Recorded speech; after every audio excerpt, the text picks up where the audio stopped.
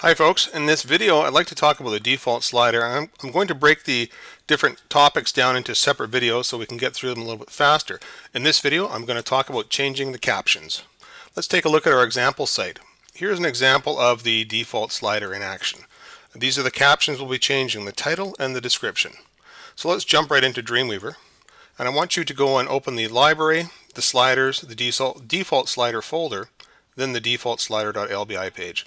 In order to change the captions, we want to first switch to code view and I'm going to expand Dreamweaver a little bit here so you can actually get a better shot at it. There's only two bits of information you need to change for each picture. The title, which is located right here, uh, designated by image 1 title, image 2 and 3 and 4, and of course image 1, 2, 3, 4 description. Um, I really, this is one of the things you'll need to do in code view. You don't need to know HTML. You just need to make sure that when you're changing the information, you simply change the information between the double quotes. The double quotes need to stay in place. If you do not need a title, you can simply remove the information between the double quotes, like so.